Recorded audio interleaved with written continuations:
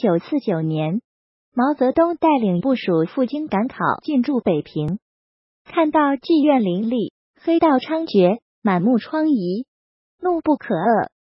对时任公安部长兼北京市公安局长的罗瑞卿说：“新中国绝不允许娼妓遍地，黑道横行。”便下决心铲除这些毒瘤，关闭妓院，扫黑除恶。中国经历了几千年的封建社会，宗族观念、横邦意识影响较深。十九世纪末二十世纪初，制度更替、军阀割据、连年战争，曾使中国的黑社会势力迅速发展，并在全国形成了红、青、汉、李、白五大黑社会势力。北平一直是青帮的势力范围。据史料记载，一千九百二十六年前后，青帮从天津渗透到北平，并以天桥地区为其主要势力范围。北平解放前夕，天桥地区的东西南北四个霸天都是青帮的头子。东霸天叫张德全，过去在戏班子里当过跟包，曾拜师学过武术。后加入青帮和国民党，成为一跺脚天桥就颤的人物，曾打死伙计马顺子，身负六条人命。西霸天叫福德成，二十五岁进京，在天桥以开茶馆为生，后勾结敌伪势力，组织流氓地痞贩卖人口、强奸妇女、开设赌场、经营暗娼，并身负二条人命。南霸天孙永贞。是天桥土生土长的地头蛇。一九四七年在天桥开茶馆，后与伪县警相勾结，霸占他人土地和饭铺。北霸天刘祥廷原为天桥吉祥戏院经理，日伪时期任天桥梨园工会会长，勾结敌伪势力敲诈勒索、强奸妇女，是一贯道坛主。解放后的北平，尽快铲除地方黑社会势力，是改善社会治安、使民众建立起对新政权信心的重要手段，是公安局层层发动群众揭露地方恶势力的种种罪行。先后三次在天桥地区召开控诉恶霸大会，但有相当一部分群众怕变天，不敢控诉。公安干警就挨家挨户的宣传党的政策，群众的积极性终于被调动起来了，纷纷检举揭发。连北霸天的干儿子赵兴全也站出来揭发其义父的罪行。一九五一年五月十六日，市委市政府决定在天坛祈年殿前召开第四次控诉恶霸大会，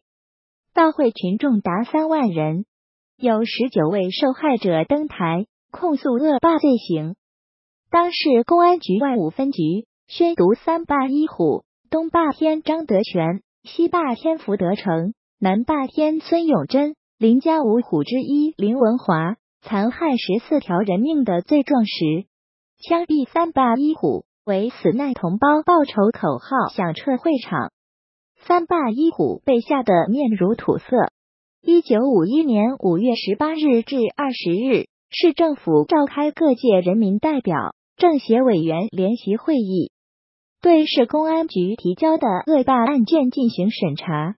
一致同意对天桥恶霸张德全、福德成、孙永贞、林文华等恶霸处以死刑。至此，全市反对黑社会势力的斗争取得了决定性胜利。一九四九年五月的一个晚上，还住在香山双清别墅的毛泽东，带了秘书，乘一辆吉普车进了北平城。在一个胡同口，车子被一群吵吵嚷嚷的人阻断了去路。原来是妓院的老鸨在打一个逃出来的小妓女，老鸨带住一帮打手，对住小妓女拳打脚踢。毛泽东看到了这一幕，让秘书赶快去阻止。秘书拨开人群，喝道：“不准你们毒打他！”老鸨反驳道：“她是我的丫头，我打她，你管得住吗？”秘书挥手抓住老鸨的手说：“我就要管，我们绝不允许自己的兄弟姐妹遭受这样的折磨。你必须马上送他上医院看病。”毛泽东暗访北平，看到这一幕，很是气愤。毛泽东坚决地说：“新中国绝不允许娼妓遍地，黑道横行。”一九四九年十一月二十一日下午五时，在北京市第二届各界人民代表会议上，大会执行主席是妇联筹委会主任张小梅同志宣读一项神圣的议案。兹特根据全市人民之意志，决定立即封闭一切妓院，集中所有妓院老板、领家、保等加以审查和处理，并集中妓女加以训练，改造其思想，医治其疾病。决议通过后，聂荣臻市长宣布立即执行这项决议，全场沸腾，掌声、欢呼声交织融合在一起。北京市委书记彭真、市长聂荣臻立即专门向毛泽东报告了北京市各界人民代表大会封闭妓院的决议。毛泽东听完他们对妓院老板惩处、对妓女教育帮助的处理意见后，说：“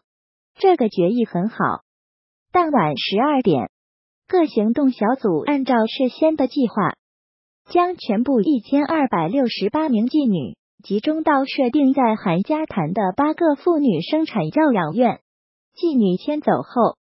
干警对妓院的财产进行登记，对老板领家的财产予以没收，并在各家妓院的门上贴上北京市人民政府一九四九年封的长封条。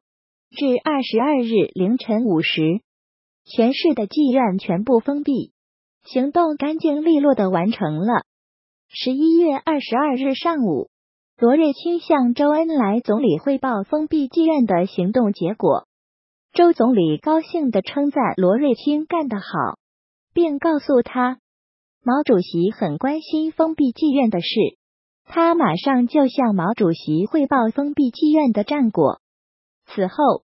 在新中国政权的整肃之下，全国各地妓女得到解放。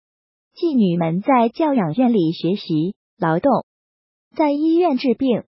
之后，有的嫁人，有的回家，有的进入工厂做工，成为社会主义建设的一员。毛泽东整治黑道靠什么？靠人民群众，靠坚挺的国家机器，靠人民民主专政，只许他们老老实实，不准他们乱逆纪，以致夜不闭户。路不拾遗，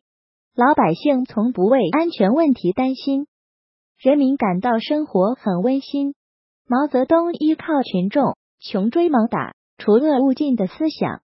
让中华人民共和国迅速扫除了旧社会的污泥浊水。